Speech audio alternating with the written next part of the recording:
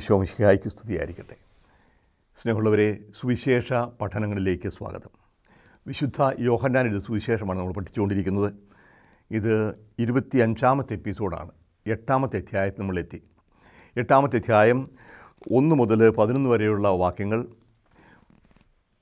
പാപത്തിൽ പിടിക്കപ്പെട്ട വ്യഭിചാരത്തിൽ പിടിക്കപ്പെട്ട ഒരു സ്ത്രീയെ കല്ലെറിഞ്ഞു കൊല്ലാനായ യേശുവിന്റെ അടുക്കൽ കൊണ്ടുവരികയും അതിന് യേശു കൊടുക്കുന്ന മറുപടി കേട്ട് കല്ലുമായി വന്നവരെല്ലാം കല്ലുപേക്ഷിച്ച് പിന്മാറുകയും ചെയ്ത സംഭവമാണ് നമ്മൾ കണ്ടത്. അതിനുശേഷം യേശു ചോദിച്ചു സ്ത്രീയെ ആരും നിന്നെ വിധിച്ചില്ലേ? അപ്പോഴാണ് അവൾ മനസ്സിലാകുന്നത് ആരും തന്നെ വിധിച്ചില്ല. തന്നെ കല്ലെറിയാനായിട്ട് വന്നവരെല്ലാം അപ്രത്യക്ഷമായിരിക്കുന്നു. അവൾ പറഞ്ഞു ഇല്ല കർത്താവേ. യേശു പറഞ്ഞു ഞാനും നിന്നെ വിധിക്കുന്നില്ല. പൊയ്ക്കൊള്ളുക. ഇനിമേൽ പാപം ചെയ്യരുത്. ഇതാണ് എട്ടാമത്തെ അധ്യായം ഒന്ന് മുതൽ പതിനൊന്ന് വരെയുള്ള വാക്യങ്ങളിൽ നമ്മൾ കണ്ടുവച്ചത്. ഏഴാമത്തെ അധ്യായത്തിൽ തുടങ്ങിയതാണ് ഈ സംഭവം. ഏഴാമത്തെ അധ്യായത്തിൽ കൂടാര തിരുനാളിന്റെ പശ്ചാത്തലത്തിലാണ് യോഹന്നാൻ ഈ സംഭവങ്ങൾ രേഖപ്പെടുത്തിയിരിക്കുന്നത്. അത് തിരുനാളിന്റെ അവസാനത്തെ ദിവസം മഹാദിനത്തിൽ യേശു ശ്രമം ഉയർത്തി പറയുന്നുണ്ട് ദാഹിക്കുന്നവർ എന്റെ അടുക്കൽ വന്ന് കുടിക്കട്ടെ. എന്നിൽ വിശ്വസിക്കുന്നവന്റെ ഹൃദയത്തിൽ നിന്ന് വിശുദ്ധ ലിഖിതം പ്രസ്താവിക്കുന്ന പോലെ ജീവജലത്തിന്റെ അരിവുകൾ ഒഴുകും. ആ ഒരു പ്രഖ്യാപനമൊക്കെ തുടങ്ങി അധികാരികൾ അവരെ അറസ്റ്റ് ചെയ്യാനായിട്ട് ശ്രമിച്ചു സാധിച്ചില്ല പോയി. പിറ്റേ ദിവസം സംഭവമാണ്. അപ്പോൾ ഈ കൂടാര തിരുനാളിന്റെ പ്രകാശത്തിന്റെ തിരുനാളിന്റെ പശ്ചാത്തലത്തിലാണ് ഈ സംഭവം രേഖപ്പെടുത്തിയിരിക്കുന്നത്. കൂടാര തിരുനാൾ കഴിഞ്ഞു. പക്ഷേ അതിന്റെ തിരുനാളിന്റെ അവസാനത്തെ ദിവസം അതിന്റെ പിറ്റേ രാവിലെയാണ് ഈ സംഭവം. അപ്പോൾ ഈ കൂടാര തിരുനാളിന്റെ ഒരു സവിശേഷത പ്രകാശമാണ്. ഇപ്പോൾ അവിടെ നാല് വലിയ മനോറകൾ സ്ഥാപിക്കുമെന്നും സ്ത്രീകളുടെ മണ്ഡപം എന്നറിയപ്പെടുന്ന ആ സ്ഥലത്ത് നാല് വലിയ മനോറകൾ സ്ഥാപിക്കുന്നു. മെനോറ എന്ന് പറഞ്ഞാൽ യഹൂദരുടെ ദീപസ്തംഭമാണ്. ഏഴ് ശാഖകളുള്ള വലിയ വിളക്ക് അത് കൊളുത്തും അതിന്റെ പ്രകാശം വളരെ അകലെ കാണുമായിരുന്നു. ഏതായാലും പ്രകാശത്തിന്റെ തിരുനാളായിട്ടാണ് ഇത് അവ- അവതരിപ്പിക്കുന്നത്. ആ പശ്ചാത്തലത്തിൽ വേണം ഈ തുടർന്നുള്ള സുവിശേഷകന്റെ വിവരണങ്ങൾ മനസ്സിലാക്കാൻ. യേശുവിനെ ലോകത്തിന്റെ പ്രകാശമായി അവതരിപ്പിക്കുന്നതാണ് തുടർന്ന് നമ്മൾ കാണുന്ന സംഭവം. അപ്പോൾ ഈ പ്രകാശത്തിന്റെ തിരുനാളുമായി ബന്ധപ്പെടുത്തി യേശുവാണ് യഥാർത്ഥത്തിൽ ലോകത്തിന്റെ പ്രകാശം എന്ന് അവതരിപ്പിക്കുന്നു. പക്ഷേ ഈ പ്രകാശത്തെ സ്വീകരിക്കാനായിട്ട് അന്ധകാരത്തിന് സാധിക്കുന്നില്ല. ഈ എട്ടാമത്തെ അധ്യായം ഒരു നാല് ഭാഗമായി തിരിച്ചിട്ടുണ്ട്. ആദ്യത്തെ ഈ പാപിനിയുടെ കഥയ്ക്ക് ശേഷം. ലോകത്തിൻ പ്രകാശമെന്ന് അവതരിപ്പിക്കുന്ന ആ ഭാഗത്ത് പതിമൂന്ന് മുതൽ ഇരുപത് വരെയുള്ള വാക്യങ്ങളിൽ യേശു ലോകത്തിന്റെ പ്രകാശമായിട്ട് സ്വയം അവതരിപ്പിക്കുന്നു. പിന്നീട് യഹൂദർക്കുള്ള മുന്നറിയിപ്പ് ഉണ്ട് യേശു തന്റെ ദൈവത്വം വെളിപ്പെടുത്തുന്ന ഞാൻ ആകുന്നു എന്ന് പറയുന്ന ആ രീതിയിൽ പലതവണ സ്വയം വെളിപ്പെടുത്തുന്നുണ്ട്. അപ്പോൾ യേശു ആണ് യഥാർത്ഥ സ്വാതന്ത്ര്യം നൽകുന്നത്. അവസാനം ഈ യേശു പ്ര പ്രപഞ്ചത്തിന് മുമ്പേ അബ്രാഹത്തിന് മുമ്പേ ഉണ്ടായിരുന്നവനാണ്. അപ്പോൾ യേശുവിന്റെ ദൈവത്വം യേശു ലോകത്തിന്റെ പ്രകാശമാണ് എന്ന ആ ഒരു വിശ വിശദീകരണം ഇതാണ് നമ്മൾ ഈ എട്ടാമത്തെ അധ്യായത്തിൽ മുഖ്യമായിട്ട് കാണുന്നത്. ആരാണ് യേശു? പ്രകാശം ലോകത്തിലേക്ക് അന്ധകാരത്തിൽ പ്രകാശിക്കുന്നു പക്ഷേ അന്ധകാരം തന്നെ ഉൾക്കൊള്ളാൻ സാധിക്കുന്നില്ല. ജീവൻ കടന്നു വരുന്നു പക്ഷേ ജീവൻ സ്വീകരിക്കാനായിട്ട് ലോകം തയ്യാറാകുന്നില്ല. ഈ ഒരു സംഘർഷം സംഘട്ടനം കൂടുതൽ ശക്തമാകുന്നതിന്റെ ഒരു ചിത്രമാണ് നമ്മൾ എട്ടാമത്തെ അധ്യായത്തിൽ കാണുക. യേശുവിനെ അറസ്റ്റ് ചെയ്യാനും കല്ലെറിയാനും ഒക്കെ ശ്രമിക്കുന്നു പക്ഷേ സാധിക്കുന്നില്ല. നമുക്ക് തുടർന്ന് അവകാശം വാക്യങ്ങളിലൂടെ കടന്നു പോകാം. എട്ടാമത്തെ അധ്യായം പതിമൂന്ന് മുതൽ ഇരുപത് വരെയുള്ള വാക്യങ്ങൾ. യേശു വീണ്ടും അവരോട് പറഞ്ഞു ഞാൻ ലോകത്തിന്റെ പ്രകാശമാണ്. എന്നെ അനുഗമിക്കുന്നവൻ ഒരിക്കലും അന്ധകാരത്തിൽ നടക്കുകയില്ല. അവന് ജീവന്റെ പ്രകാശമുണ്ടായിരിക്കും. അപ്പോൾ ഫരിസേയർ പറഞ്ഞു നീ തന്നെ നിനക്ക് സാക്ഷ്യം നൽകുന്നു. നിന്റെ സാക്ഷ്യം സത്യമല്ല. യേശു പ്രതിവചിച്ചു ഞാൻ തന്നെ എനിക്ക് സാക്ഷ്യം നൽകിയാലും എന്റെ സാക്ഷ്യം സത്യമാണ്. കാരണം ഞാൻ എവിടെ നിന്ന് വരുന്നുവെന്നും എവിടേക്ക് പോകുന്നുവെന്നും എനിക്കറിയാം. എന്നാൽ ഞാൻ എവിടെ നിന്ന് വരുന്നുവെന്നോ എവിടേക്ക് പോകുന്നുവെന്നോ നിങ്ങൾ അറിയുന്നില്ല. നിങ്ങളുടെ വിധി മാനുഷികമാണ്. ഞാൻ ആരെയും വിധിക്കുന്നില്ല. ഞാൻ വിധിക്കുന്നെങ്കിൽ തന്നെ എന്റെ വിധി സത്യമാണ്. കാരണം ഞാൻ തനിച്ചല്ല എന്നെ അയച്ച പിതാവും എന്നോടുകൂടെയുണ്ട്. രണ്ടുപേരുടെ സാക്ഷ്യം സത്യമാണെന്ന് നിങ്ങളുടെ നിയമത്തിൽ തന്നെ എഴുതിയിട്ടുണ്ടല്ലോ. എന്നെക്കുറിച്ച് ഞാൻ തന്നെ സാക്ഷ്യം നൽകുന്നു. എന്നെ അയച്ച പിതാവും എനിക്ക് സാക്ഷ്യം നൽകുന്നു. അപ്പോൾ അവർ ചോദിച്ചു നിന്റെ പിതാവ് എവിടെയാണ്? യേശു പറഞ്ഞു നിങ്ങൾ എന്നെ ആകട്ടെ എന്റെ പിതാവിനെ ആകട്ടെ അറിയുന്നില്ല. എന്നെ അറിഞ്ഞിരുന്നെങ്കിൽ എന്റെ പിതാവിനെയും അറിയുമായിരുന്നു. ദേവാലയത്തിൽ ഭണ്ഡാരസ്ഥലത്ത് പഠിപ്പിച്ചുകൊണ്ടിരിക്കുമ്പോഴാണ് ഇതെല്ലാം അവൻ പറഞ്ഞത്. എന്നാൽ ആരും അവനെ പിടിച്ചില്ല. കാരണം അവന്റെ സമയം ഇനിയും വന്നു ചേർന്നിട്ടില്ലായിരുന്നു. ഇതാണ് തുടക്കം.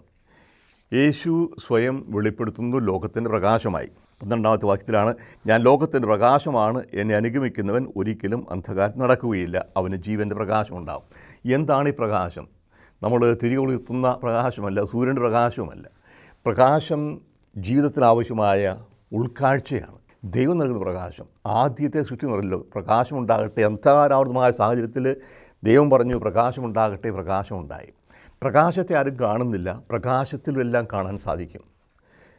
തമസോമ ജ്യോതിർഗമയ എന്ന ഭാരതീയരുടെ പ്രാർത്ഥന ഓർക്കുക പ്രകാശമാണ്. പ്രകാശം സന്തോഷം നൽകും പ്രകാശം സത്യം വെളിപ്പെടുത്തും പ്രകാശം നമുക്ക് ജീവ ജീവന് ഒരു ലക്ഷ്യബോധം നൽകും. എന്ത് പ്രകാശമാണ് നമ്മൾ കാണുന്നത്? ഏത് പ്രകാശത്തിലാണ് കാണുന്നത്? ഓരോ വസ്തുവിനെയും എപ്രകാരമാണ് കാണുക? കാണണമെങ്കിൽ കണ്ണു വേണം. കണ്ണുണ്ടായതിന് മാത്രമായാലും പ്രകാശം ഉണ്ടാകണം. പക്ഷേ എപ്രകാരമുള്ള പ്രകാശമാണ് ഒരു വസ്തുവിൽ പതിക്കുന്നത്? അതനുസരിച്ച് ആ വസ്തുവിന്റെ രൂപഭാവങ്ങൾ നിറങ്ങൾ മാറിയിരിക്കും. അപ്പോൾ യഥാർത്ഥമായ പ്രകാശം ദൈവം നൽകുന്ന പ്രകാശമാണ്. എന്റെ ഉള്ളിലാണ് പ്രകാശം ജനിക്കേണ്ടത്.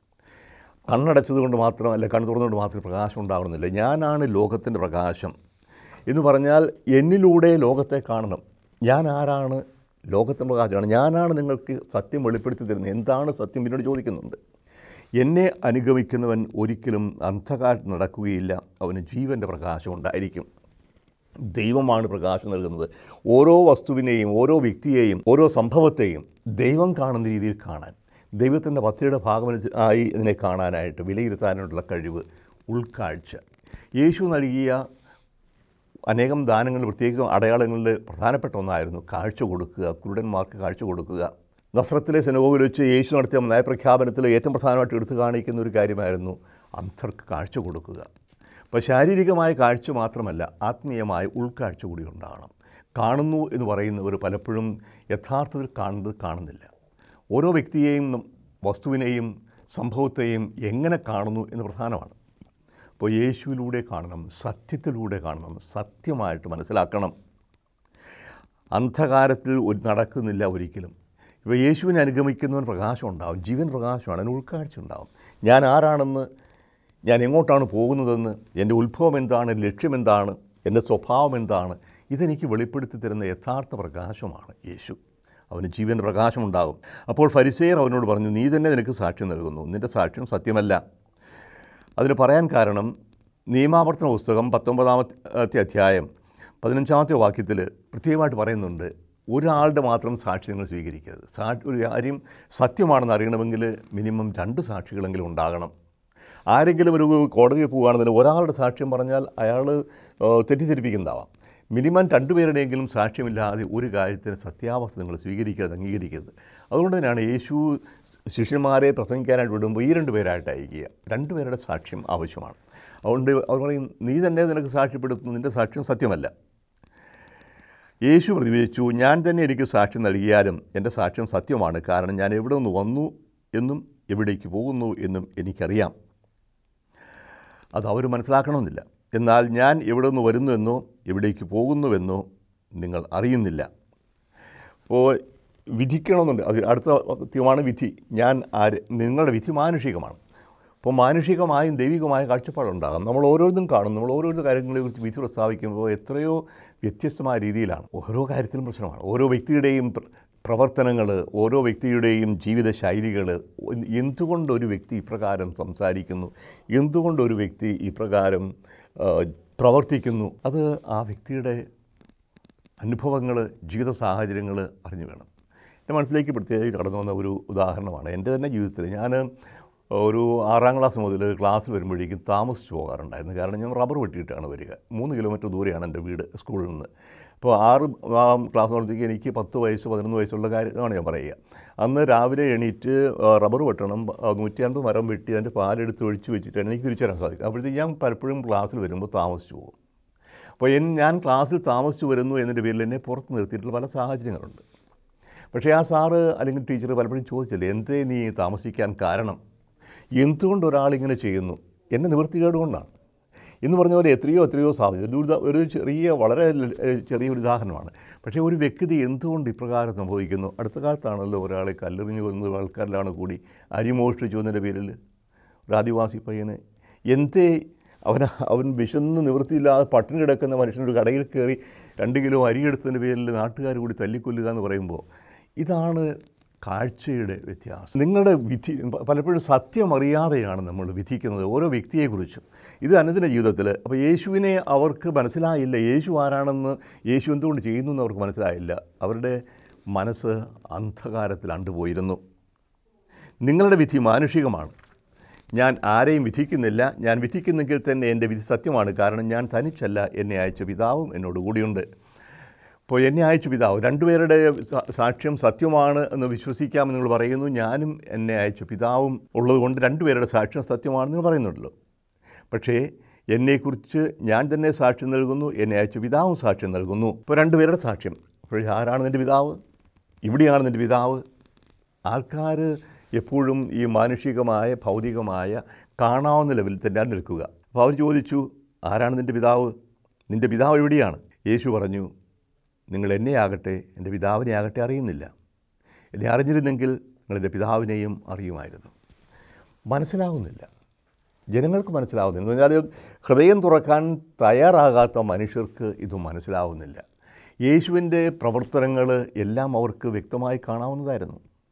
പ്രത്യേകിച്ചും ജെറൂസലത്ത് വെച്ച് നടന്ന ഈ തളർവാദ രോഗിയെ സുഖപ്പെടുത്തിയ സംഭവം അഞ്ചാമത്തെ അധ്യായത്തിൽ രേഖപ്പെടുത്തിയിട്ടുണ്ട്. ആറാമത്തെ അധ്യായത്തിൽ അയ്യായിരം പുരുഷന്മാരടങ്ങുന്ന വലിയൊരു സമൂഹത്തെ മരുഭൂമിയിൽ വെച്ച് അഞ്ചപ്പം കൊണ്ട് തൃപ്തരാക്കിയതും അവർ കണ്ടതാണ്.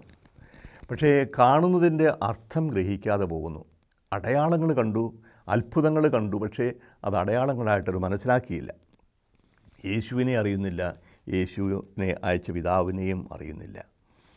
അപ്പോൾ ഈ സംഭാഷണം യേശു സ്വയം അവതരിപ്പിക്കുന്നു പക്ഷേ മനസ്സിലാവുന്നില്ല. ഈ ഒരു സാഹചര്യം കൂടുതൽ ശക്തമായ താക്കീതിലേക്ക് പോവുകയാണ്. ഇരുപതാമത്തെ വാക്യം പ്രകാരമാണ് പറയുന്നത് ദേവാലയത്തിൽ ഭണ്ഡാര സ്ഥലത്ത് പഠിപ്പിച്ചുകൊണ്ടിരിക്കുന്നപ്പോഴാണ് അവൻ ഇതെല്ലാം പറഞ്ഞത്. എന്നാൽ ആരും അവനെ പിടിച്ചില്ല. കാരണം അവന്റെ സമയം ഇനിയും വന്നു ചേർന്നിട്ടില്ലായിരുന്നു. സമയം എന്ന് ഹോര എന്ന പദമാണ്. പി ഒ സിയുടെ പുതിയ ട്രാൻസ്ലേഷൻ അത് വ്യക്തമാക്കിയിട്ടുണ്ട്. അവന്റെ മണിക്കൂർ ഇതുവരെയും ആയിരുന്നില്ല. എന്താണ് ഈ മണിക്കൂർ? അനേകം തവണ പറയും അവന്റെ മണിക്കൂറായിരുന്നില്ല അവന്റെ സമയമായില്ല. മണിക്കൂറായില്ല മണിക്കൂർ. നമ്മൾ മണിക്കൂർ എന്ന് പറയുമ്പോൾ പൊതുവേ എന്തോ ഒരു കുറവ് പോലെ തോന്നുന്നു. His hour has not come എന്റെ മണിക്കൂറിനെയും ആയിട്ടില്ല എന്ന് കാനായി വെച്ച് പറഞ്ഞതാണ്. അപ്പോൾ പലപ്പോഴും യേശുവിനെ കല്ലെറിയാൻ നോക്കുന്നു അറസ്റ്റ് ചെയ്യാൻ നോക്കുന്നു. പക്ഷേ അവന്റെ സമയം അവന്റെ മണിക്കൂർ ഇനിയുമായിട്ടില്ല എന്താണ് ഈ മണിക്കൂർ? അത് നമ്മൾ പിന്നീട് കാണും. അവന്റെ മണിക്കൂർ എന്ന് പറയുന്നത് അവന്റെ മരണത്തിന്റെ സമയമാണ്. മരണവും ഉത്ഥാനവും വഴി മരണവും അല്ലെ സ്വർഗ ഈ കുരിശിൽ ഉള്ള പീഡാസഹനവും മരണവും വഴി ദൈവത്തിന്റെ മഹത്വം വെളിപ്പെടുന്ന ആ ഒരു സമയത്തെയാണ് മണിക്കൂർ എന്ന് പറയുക. കുരിശ് പിതാവിന്റെ ഇടയിലേക്ക് അടുക്കിലേക്ക് കടന്നു പോകാനുള്ള കോവണിയായിട്ടാണ് കാണുന്നത്. പിന്നെ ഉയർത്തുക മനുഷ്യന്റെ പുത്രൻ നിങ്ങൾ ഉയർത്തി കഴിയുമ്പോൾ അപ്പോൾ യേശുവിന്റെ മരണവും ഉത്ഥാനവും ഒരുപോലെയാണ്. മരണം തന്നെ ഒരു ഉത്ഥാനമായി മഹത്വീകരണമായിട്ടാണ് യോഹന്നാൻ ചിത്രീകരിക്കുന്നത്. അവന്റെ മണിക്കൂർ ഇനിയുമായിരുന്നില്ല അതുകൊണ്ട് അവനെ ആരും പിടിച്ചിട്ടില്ല. ഇനി അടുത്ത ഭാഗമായിട്ട് വരുന്നത് യഹൂദർക്ക് നൽകുന്ന മുന്നറിയിപ്പാണ്. എട്ട് ഇരുപത്തിയൊന്ന് മുതൽ മുപ്പത് വരെയുള്ള വാക്യങ്ങളിൽ ഇവിടെ പ്രധാനമായിട്ടും എടുത്തു കാണിക്കുന്ന ഒന്ന് യേശു ആരാണ്? എന്ന്. യഹൂദർക്ക് മുന്നറിയിപ്പ് എന്ന് അഭിയൂസ് ടൈറ്റിൽ കൊടുത്തിട്ടുണ്ട്. ശരിയാണ് മുന്നറിയിപ്പാണ്. പക്ഷേ ഈ മുന്നറിയിപ്പിന്റെ പിന്നിൽ നിൽക്കുന്നത് യേശുവിന്റെ വ്യക്തിത്വമാണ്. യേശുവിന്റെ ഒരു വെളിപ്പെടുത്തലാണ് കൂടുതൽ ആഴത്തിൽ ഇവിടെ പ്രകടമാവുക. ഇരുപത്തൊന്നാമത്തെ വാക്യം മുതൽ യേശു അവരോട് വീണ്ടും പറഞ്ഞു ഞാൻ പോകുന്നു നിങ്ങളെന്നെ അന്വേഷിക്കും. എന്നാൽ നിങ്ങളുടെ പാപത്തിൽ നിങ്ങൾ മരിക്കും. ഞാൻ പോകുന്നിടത്തേക്ക് വരാൻ നിങ്ങൾക്ക് കഴിയുകയില്ല. എന്താണ് ഇതിന്റെ അർത്ഥം? ഞാൻ പോകുന്നു. എങ്ങോട്ടാണ് പോകുന്നത്? അവർക്ക് മനസ്സിലായില്ല. നസ്രത്തിലേക്ക് പോവുകയാണ്. ഞാൻ പോകുന്നിടത്തേക്ക് വരാൻ നിങ്ങൾക്ക് കഴിയുകയില്ല. സ്വാഭാവികമായിട്ടും യഹൂദരുടെ ചോദ്യം ഇതായിരുന്നു. അപ്പോൾ യഹൂദർ പറഞ്ഞു ഞാൻ പോകുന്നിടത്തേക്ക് വരാൻ നിങ്ങൾക്ക് കഴിയുകയില്ല എന്ന് അവൻ പറയുന്നല്ലോ. അവൻ ആത്മഹത്യ ചെയ്തേക്കുമോ? എന്താണ് ഇതിന്റെ അർത്ഥം? അവൻ പറഞ്ഞു നിങ്ങൾ താഴെ നിന്നുള്ളവരാണ് ഞാൻ മുകളിൽ നിന്നുള്ളവനും. നിങ്ങൾ ഈ ലോകത്തിന്റെതാണ് ഞാൻ ഈ ലോകത്തിന്റെതല്ല. ഇതാണ് വ്യത്യാസം. നിങ്ങൾ താ ഇപ്പോൾ താഴെ മുകളിൽ ദൈവ മനുഷ്യൻ ദൈവം ഇപ്പോൾ ദൈവത്തിൽ നിന്നുള്ളവനാണ് യേശു നിങ്ങൾ താഴെ നിന്നുള്ളവരാണ്. അപ്പോൾ ഈ ഒരു കോൺട്രാസ്റ്റ് എന്റെ വ്യത്യാസം എടുത്തു കാണിക്കുകയാണ്. പിതാവും നിങ്ങൾ ആരും അറിയുന്നില്ല സ്വർഗത്തിൽ നിന്നുള്ളവനാണ് ഞാൻ പിതാവിനെ അറിയാ നിങ്ങൾ അറിയുന്നില്ല. നിങ്ങൾ ഈ ലോകത്തിന്റേതാണ് ലോകമെന്ന് പറയുമ്പോൾ വെറുതെ ശാരീരികമായ ഭൗതികമായ കാര്യം മാത്രമല്ല തിന്മയിൽ ആണ്ടുപോയ ആണ്ടുപോയ ദൈവത്തെ അറിയാത്ത ദൈവഹിതത്തിന് വിരുദ്ധമായി നിൽക്കുന്ന ഒരു ശക്തിയായിട്ട് കൂടി ലോകത്തെ കാണിക്കും കോസ്മോസ് എന്ന പദമാണ് ഉപയോഗിക്കുന്നത്. എന്നാൽ ഞാൻ ഈ ലോകത്തിന്റെതല്ല. നിങ്ങൾ നിങ്ങളുടെ പാപത്തിൽ പാപങ്ങളിൽ മരിക്കും എന്ന് ഞാൻ നിങ്ങളോട് പറഞ്ഞല്ലോ. എന്തെന്നാൽ ഞാൻ ഞാൻ തന്നെ എന്ന് വിശ്വസിക്കുന്നില്ലെങ്കിൽ നിങ്ങൾ നിങ്ങളുടെ പാപത്തിൽ മരിക്കും. ഇതാണ് എന്താ ചോദ്യം. ഞാൻ ഞാൻ തന്നെ I am I am I am who I am നമ്മൾ നേരത്തെ കണ്ടതാണ്. ഞാൻ ഞാൻ തന്നെ എന്ന യേശുവിന്റെ പ്രഖ്യാപനം. എട്ടു തവണ ഇത് വരുന്നുണ്ട്. ഞാൻ സൂചിപ്പിക്കുകയുണ്ടായി. ഒരിക്കൽ കൂടി ആവർത്തിക്കട്ടെ. എട്ടു തവണ യേശു ഇത് പറയുന്നുണ്ട്. ഞാൻ ഞാൻ തന്നെ. അത് യോഹന്നാൻ സുവിശേഷത്തിൽ മാത്രമേ ഉള്ളൂ ഈ പ്ര ഈ പ്രഖ്യാപനം. നാല് ഇരുപത്തിയാറിൽ സമറിയക്കാരി സ്ത്രീയോട് ആറ് ഇരുപത്തിയൊന്നിൽ എട്ടാമത്തെ അധ്യായത്തിൽ മൂന്ന് തവണ വരുന്നുണ്ട്. ഇരുപത്തിനാല് ഇരുപത്തിയെട്ട് അൻപത്തിയെട്ട് വാക്യങ്ങളിൽ. പിന്നെ പതിമൂന്നാമത്തെ അധ്യായം ഒൻപത് പതിമൂന്നാമത്തെ പത്തൊമ്പതാമത്തെ വാക്യത്തിൽ അവസാനമായി പതിനെട്ടാമത്തെ അധ്യായം അഞ്ചും ഏഴും വാക്യങ്ങളിൽ ആവർത്തിക്കുന്നുണ്ട്. അങ്ങനെ എട്ടു തവണ ഞാൻ ഞാൻ തന്നെ എന്ന് പറയുന്നുണ്ട്. എന്താണ് എന്താ ഇങ്ങനെ പറയാൻ കാരണം? ഇത് മനസ്സിലാകണമെന്നുണ്ടെങ്കിൽ യഹൂദരുടേതായ ചിന്താതി മനസ്സിലാക്കണം. യഹൂദരുടെ മനസ്സിലുണ്ടായിരുന്ന ദൈവത്തിന്റെ ചിത്രം മോശ ദൈവത്തോട് ചോദിച്ചു സിനായി മലയുടെ ഒരു വാരത്ത് വെച്ച് കത്തിജ്വലിക്കുന്ന ഉൾപ്പടർപ്പിൽ പ്രത്യക്ഷനായ ദൈവത്തിന്റെ സാന്നിധ്യത്തിൽ ദൈവത്തെ കാണുന്നില്ല ദൈവത്തിന്റെ ശബ്ദം കേട്ടുകൊണ്ട് മോശം ചോദിക്കുന്നുണ്ട് ദൗത്യം കിട്ടിക്കഴിഞ്ഞപ്പോൾ ഞാനെന്റെ പിതാ പിതാക്കന്മാരുടെ ദൈവം എന്നെ നിങ്ങളുടെ അടുത്തേക്ക് അയച്ചിരിച്ചിരിക്കുന്നു എന്ന് ജന ജനത്തോട് പോയി പറയാം. പക്ഷേ അവന്റെ പേരെന്താണ് എന്ന് ചോദിച്ചാൽ ഞാനെന്തു പറയണം? അതിനാണ് കൊടുക്കുന്ന പേരാണ് ഞാൻ ഞാൻ തന്നെ. I am who I am ഇഹിയെ അഷർ ഇഹിയെ I will be who I will be എന്നാകാം. I am who I am ഞാൻ ഞാൻ തന്നെ. അപ്പോൾ ഇത് ദൈവം വെളിപ്പെടുത്തിയ പേരാണ്. അപ്പോൾ ദൈവത്തിന്റെ പ്രവർത്തനത്തിലൂടെ സ്വയം വെളിപ്പെടുത്തുന്ന ദൈവത്തിന്റെ പേരാണ് ഞാൻ ഞാൻ തന്നെ. എന്തെന്നാൽ ഞാൻ ഞാൻ തന്നെ എന്ന് വിശ്വസിക്കുന്നില്ലെങ്കിൽ നിങ്ങൾ നിങ്ങളുടെ പാപങ്ങളിൽ മരിക്കും. അപ്പോൾ അവർ ചോദിച്ചു നീ ആരാണ്? യേശു പറഞ്ഞു ആരംഭം മുതലേ നിങ്ങളോട് ഞാൻ പറഞ്ഞിരുന്നത് തന്നെ. ആരംഭം മുതലേ പറഞ്ഞിരുന്നത് തന്നെ. എന്താണ്? നേരത്തെ പറഞ്ഞതാകാം ആരംഭം മുതലുള്ളവനാകാം. ആചാരം എന്ന് പറഞ്ഞാൽ ഇതുവരെ പറഞ്ഞതും ചെയ്തതുമെല്ലാം യേശു ആരാണെന്ന് വ്യക്തമാക്കുകയാണ്. എനിക്ക് നിങ്ങളെക്കുറിച്ച് പലതും പറയാനും വിധിക്കാനും ഉണ്ട്. എന്നെ അയച്ചവൻ സത്യവാനാണ്. അവിടുത്തെ അധരത്തിൽ നിന്ന് കേട്ടത് ഞാൻ ലോകത്തോട് പറയുന്നു. അപ്പോൾ യേശു തന്റെ പിതാവിനെക്കുറിച്ചാണ് പറയുന്നത്. ഞാൻ വന്നിരിക്കുന്നത് സ്വന്തം നാമത്തിലല്ല. പിതാവ് എന്നെ അയച്ചതാണ്. പിതാവിന്റെ ഹിതമാണ് ഞാൻ നിർവഹിക്കുക. പിതാവിന്റെ പ്രവർത്തനങ്ങളാണ് ഞാൻ ചെയ്യുന്നത്. പിതാവിന്റെ വാക്കുകളാണ് ഞാൻ പറയുന്നത്. എന്നെ കാണുന്നവൻ പിതാവിനെ കാണുന്നു പിതാവിലേക്കുള്ള വഴിയാണ് ഞാൻ. ഇതെല്ലാം ഇത്രയെല്ലാം പറഞ്ഞിട്ടും അവർക്ക് മനസ്സിലാവുന്നില്ല. പിതാവിനെക്കുറിച്ചാണ് അവൻ തങ്ങളോട് സംസാരിച്ചതെന്ന് അവർ മനസ്സിലാക്കിയില്ല. ഒന്ന് പിതാവ് എന്ന് പോലും അവർക്ക് മനസ്സിലാകാനാവില്ല. ദൈവത്തെ പിതാവേ എന്ന് വിളിക്കാനുള്ള ആ ഒരു അറിവോ അവകാശമോ ധൈര്യമോ അവർക്കുണ്ടായിരുന്നില്ല. അതുകൊണ്ട് തന്നെ യേശു ദൈവത്തെ പിതാവെന്ന് വിളിക്കുന്നത് ദൈവത്തെയാണെന്ന് അവർക്ക് മനസ്സിലാവുന്നില്ല. അതോടൊപ്പം ഇത് ദൈവദൂഷണമായി കണക്കാക്കുന്നുമുണ്ട് പിതാവിനെക്കുറിച്ച് ആണ് സംസാരിച്ചതെന്ന് അവർ മനസ്സിലാക്കിയില്ല. അതുകൊണ്ട് യേശു അവരോട് പറഞ്ഞു നിങ്ങൾ മനുഷ്യപുത്രനെ ഉയർത്തി കഴിയുമ്പോൾ ഞാൻ ഞാൻ തന്നെയെന്നും ഞാൻ സ്വമേധയാ ഒന്നും പ്രവർത്തിക്കുന്നില്ല. പ്രത്യുത എന്റെ പിതാവ് എന്നെ പഠിപ്പിച്ചതുപോലെ ഇക്കാര്യങ്ങൾ ഞാൻ സംസാരിക്കുന്നുവെന്നും നിങ്ങൾ മനസ്സിലാക്കും. അവിടെ അവൻ വീണ്ടും ഞാൻ ഞാൻ തന്നെ. നിങ്ങൾ മനുഷ്യപുത്രനെ ഉയർത്തി കഴിയുമ്പോൾ മനുഷ്യപുത്രൻ യേശുവിനെ കുറിച്ചുള്ളതാണ് യേശു തന്നെക്കുറിച്ച് പറയുന്നത് മനുഷ്യപുത്രൻ എന്നാണ്. ഇപ്പോൾ ദൈവത്തിന്റെ പുത്രൻ മനുഷ്യപുത്രനായി. മനുഷ്യപുത്രനെ ഉയർത്തി കഴിയുമ്പോൾ എന്താണ് ഉയർത്തൽ അത് കുരിശിൽ ഉയർത്തലാണ്. കുരിശിൽ തറച്ചിട്ട് കുരിശ് ഉയർത്തുന്നുണ്ട്. അപ്പോൾ മനുഷ്യപുത്രനെ ഉയർത്തി കഴിയുമ്പോൾ ആ കുരിശിൽ നിങ്ങൾ അവനെ വധിക്കുമ്പോൾ മനസ്സിലാക്കും നിങ്ങൾ ആരാണെന്ന്. ഉയർത്തി കഴിയുമ്പോൾ ഞാൻ ചാൻതാന്റെ എന്ന് മനസ്സിലാക്കും. കാരണം ഈ മരിച്ചവൻ മരിച്ചു കിടക്കുകയില്ല. കുരിശു തറച്ചവനെ കുരിശു നിറക്കി കല്ലറയിൽ അടക്കി പക്ഷേ മൂന്നാം ദിവസം ഒരവിടെ കാണാനുണ്ടായിരുന്നില്ല. അപ്പോൾ കുരിശു മരണം യേശുവിന്റെ ജീവിതത്തിന്റെ അവസാനമായിരുന്നില്ല. ഇവർക്ക് ചെയ്യാവുന്നതിന്റെ അവസാനത്തേതാണ്. പക്ഷേ അതുകൊണ്ട് തീരുന്നില്ല. നിങ്ങൾ ഉയർത്തി കഴിയുമ്പോൾ വാസ്തവത്തിൽ യഥാർത്ഥ ഞാൻ ആരാണ് നിങ്ങൾ മനസ്സിലാക്കും. അപ്പോൾ യേശു തന്റെ മരണം വഴി തന്റെ ഉത്ഥാനം വഴി തന്റെ വ്യക്തിത്വം വെളിപ്പെടുത്തും. കുരിശിനെ ഉയർത്തി കഴിയുമ്പോൾ കുരിശിൽ ഉയർത്തി കഴിയുമ്പോഴാണ് ഞാൻ ആരാണ് നിങ്ങൾ മനസ്സിലാക്കുക. അപ്പോൾ ഞാൻ സ്വമേധയാ ഒന്നും പ്രവർത്തിക്കുന്നില്ല. പ്രത്യേക പിതാവ് എന്നോട് പഠിപ്പിച്ചതുപോലെ ഇക്കാര്യങ്ങൾ സംസാരിക്കുന്നുവെന്നും നിങ്ങൾ മനസ്സിലാക്കും. എന്നെ അയച്ചവൻ എന്നോട് കൂടെയുണ്ട്. അവിടുന്ന് എന്നെ തനിയെ വിട്ടിരിക്കുകയല്ല. കാരണം ഞാൻ എപ്പോഴും അവിടുത്തേക്ക് ഇഷ്ടമുള്ളതാണ് പ്രവർത്തിക്കുന്നത്. ഇത് പറഞ്ഞപ്പോൾ വളരെ പേർ അവനിൽ വിശ്വസിച്ചു. അപ്പോൾ വളരെ കഠിനമായ യജ്ഞമാണ് യേശു സ്വയം വെളിപ്പെടുത്താൻ താൻ ആരാണ് എന്ന് അവരെ ബോധ്യപ്പെടുത്താനുള്ള ശ്രമമാണ്. പ്രവർത്തനങ്ങളുണ്ട് പ്രബോധനങ്ങളുണ്ട്. പക്ഷേ എങ്ങനെയോ തങ്ങൾക്കെല്ലാം അറിയാമെന്നുള്ള ആ ചിന്തയിൽ ഉറച്ചു നിൽക്കുന്ന വ്യക്തികൾ അന്ധകാരത്തിൽ പോവുകയാണ് എല്ലാം എന്റേതായൊരു കാഴ്ചപ്പാടിലൂടെയാണ് കാണുക. കാഴ്ചപ്പാട് മാറണം. പ്രപഞ്ചത്തെക്കുറിച്ച് ദൈവത്തെക്കുറിച്ച് എന്നെക്കുറിച്ച് എന്റെ സഹോദരങ്ങളെക്കുറിച്ച് എന്റെ കാഴ്ചപ്പാടിൽ മാറ്റമുണ്ടാകണം. ആ മാറ്റമുണ്ടാകാതെ എനിക്ക് രക്ഷയുണ്ടാവില്ല. അതുകൊണ്ടാണ് പറയുന്നത് ഞാൻ ലോകത്തിന്റെ പ്രകാശമാണ്. നിങ്ങൾ ലോകത്തെ എന്നിലൂടെ കാണുക. ഞാൻ കാണുന്നത് പോലെ കാണുക. ഞാൻ കാണുന്ന പോലെ കാണണമെന്നുണ്ടെങ്കിൽ നിങ്ങൾ എന്നെ സ്വീകരിക്കണം. ഞാനാണ് ദൈവത്തിന്റെ വചനം.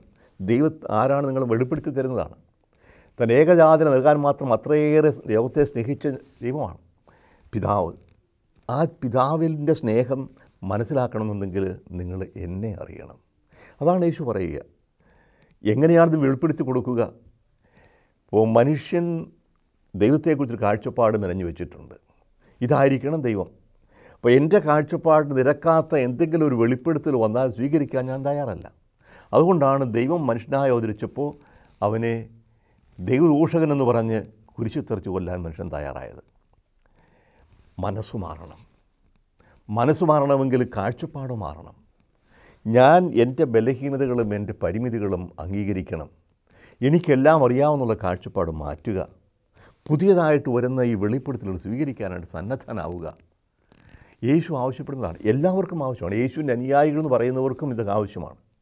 ഒരു നിരന്തരമായ ഹൃദയ പരിവർത്തനം എനിക്കെല്ലാം അറിയാം. ഞാനെല്ലാം എന്റെ ഡോക്മകളിൽ എന്റെ വിശ്വാസ പ്രമാണങ്ങളിൽ സത്യങ്ങളിൽ നിർവചിച്ചിട്ടുണ്ടെന്ന് പറയുമ്പോഴും ഹൃദയത്തിൽ മാറ്റമുണ്ടാകാതെ പോകുന്നു.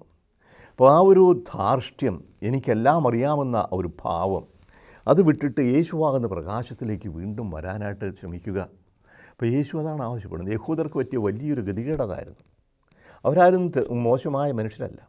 ശുദ്ധരായ മനുഷ്യരാണ്. പരിസേർ ഉദാഹരണത്തിന്. ഒരുപാട് ത്യാഗങ്ങൾ അനുഷ്ഠിക്കാനും നിയമങ്ങൾ അനുസരിക്കാനായിട്ട് കച്ചകെട്ടി ഇറങ്ങിയവരായിരുന്നു ഫരിസേയർ. ദൈവത്തെ പ്രീതിപ്പെടുത്തുക ദൈവത്തിന്റെ ഹിതമനുസരിച്ച് ജീവിക്കുക ആ ഒരേ ഒരു ലക്ഷ്യം വെച്ചുകൊണ്ടാണ് അവർ മരിക്കാനും തയ്യാറായിരുന്നു. നമ്മൾ കണ്ടതാണ് ഫരിസേയരുടെ ഉത്ഭവത്തെക്കുറിച്ചൊക്കെ. പ്രത്യേകിച്ചും അന്ത്യോക്കസ് നാലാമൻ എന്ന് പറഞ്ഞ സിറിയൻ രാജാവിന്റെ മതമർദ്ദന കാലത്ത് ജീവൻ രചിച്ചും ദൈവത്തിന്റെ പ്രമാണങ്ങൾ അനുസരിക്കും എന്ന് എന്ന് പ്രതിജ്ഞ ചെയ്ത വ്രതം ചെയ്ത വ്യക്തികളായിരുന്നു ഫരിസേയർ. അപ്പോൾ ദൈവത്തിന് വേണ്ടി അവിടുത്തെ ഹിതത്തിന് വേണ്ടി അവിടുത്തെ വഴി സഞ്ചരിക്കാൻ വേണ്ടി ജീവൻ പോലും നഷ്ടപ്പെടുത്താൻ തയ്യാറായ വ്യക്തികൾ വാസ്തവത്തിൽ അന്ധരായി മാറുന്നു. ഇപ്പം മതഭക്തി തന്നെ ഭ്രാന്തായി മാറാം അന്ധതയായി മാറാം. ആർക്കും സംഭവിക്കാവുന്നതാണ്.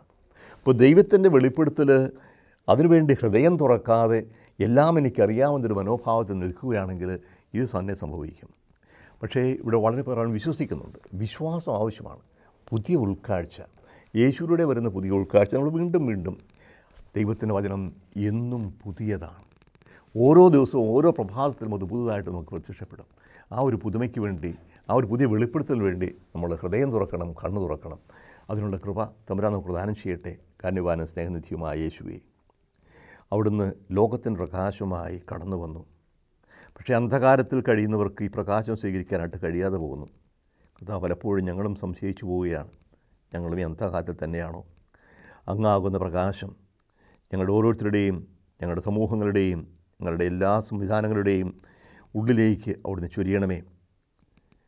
അങ്ങിലൂടെ അങ്ങാകുന്ന പ്രകാശത്തിലൂടെ എല്ലാം കാണാൻ ദൈവത്തെ കാണാൻ പ്രപഞ്ചത്തെ കാണാൻ സഹോദരെ കാണാൻ സഹോദരങ്ങളെ കാണാൻ ഞങ്ങളെ ഓരോരുത്തരെയും കാണാനുള്ള കൃപ.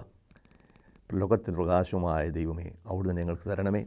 നിത്യം പിതാവും പുത്രനും പരിശുദ്ധാത്മാവുമായ സർവേശ്വര അമ്മേ